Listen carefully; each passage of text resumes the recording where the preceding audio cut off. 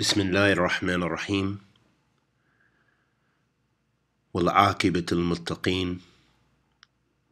ولا عدوان إلا على الظالمين. وصلى الله وسلم على نبينا محمد. وعلى آله وصحبه وسلم. أما بعد. أيها الأحباب. Let's take a peek into the pious predecessors, into the lives of the Salaf of this Ummah, to see how they were with regards to partaking and indulging in this life, to see how simple they were in their requirements, and make a comparison to us, to ourselves and how we require the best foods, the best sauces. We eat to our to we're filled, and even beyond that, we indulge in so much.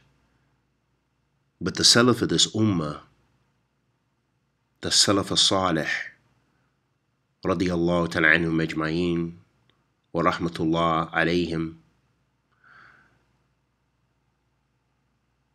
exhibited true asceticism and piety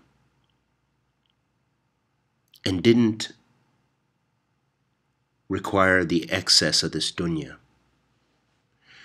It was related that Hasan al-Basri, rahimahullah ta'ala, said, He in whose hand is my soul. I have lived amongst people who never ordered food to be prepared for themselves if food was presented to one of them, he would eat. Otherwise, he would be silent. And he would not care if it was hot or cold. And in another narration, it was reported that he said, Rahimahullah Ta'ala, and may Allah bless him with Jannat Firdaus.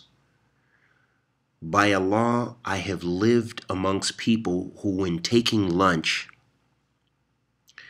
if they were about to be full, would stop eating. This is just a glimpse into the, how the Salaf were when it came to indulgence and in partaking food. And it exhibits for us the Sabil al-Mu'mineen and how the Prophet ﷺ lived his life. He could have had much, but he ordered us to have a third of our stomach for food and a third for drink and a third for air. And all of the health benefits and all of the benefits for the mind and the soul we're only just beginning to learn. But if we stop, reflect, follow the sunnah, of the Prophet والسلام, and the madhab of the Salaf of this Ummah, Minhaj Salaf al-Salih.